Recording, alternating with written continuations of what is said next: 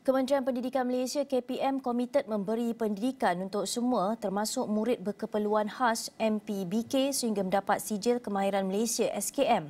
Menurut pengarah bahagian pendidikan khas KPM Dr. Rodiah Idris, pihaknya akan sentiasa mengamalkan prinsip pendidikan untuk semua golongan tanpa mengira latar belakang dan ketidakupayaan melalui bidang pendidikan dan kemahiran.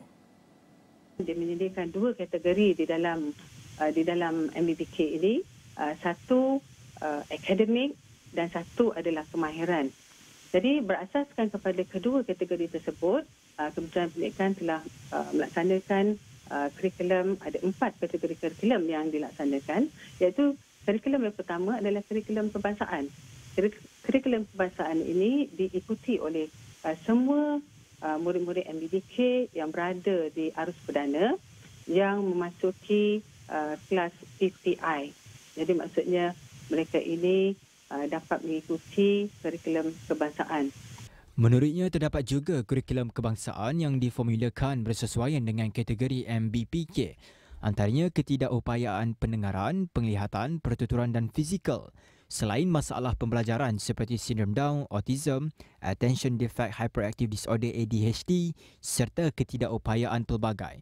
Namun ia tidak terhenti di situ kerana KPM turut komited menyediakan kurikulum berbentuk kemahiran di bawah Jabatan Pembangunan Kemahiran yang melayakkan MBPK memperoleh sijil kemahiran Malaysia SKM. Hmm, uh, kemahiran ini seperti yang saya nyatakan tadi, uh, murid-murid MBPK yang uh, mempunyai potensi di dalam kemahiran kita gilap dia. So Kementerian Pendidikan telah menyediakan sekolah-sekolah yang boleh uh, menggilap kemahiran kemahiran pelajar MBPK inilah ya. Menurutnya, KPM menyediakan peluang kepada MBPK untuk mendapatkan SKM melalui pembelajaran dalam bidang kemahiran di Sekolah Menengah Pendidikan Khas Vokasional, Sekolah Menengah Kebangsaan Pendidikan Khas dan Kolej Vokasional Keningau. Dr. Diah turut memaklumkan dalam program Awani Pagi, sehingga 31 Julai 2023, jumlah keseluruhan MBPK adalah seramai 112,746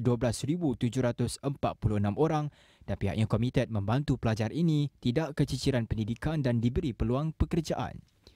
KPM berharap agar pihak industri awam atau swasta memberi peluang kepada MBPK dalam bidang pekerjaan sebagai rakyat Malaysia yang boleh turut menyumbang kepada pertumbuhan ekonomi negara.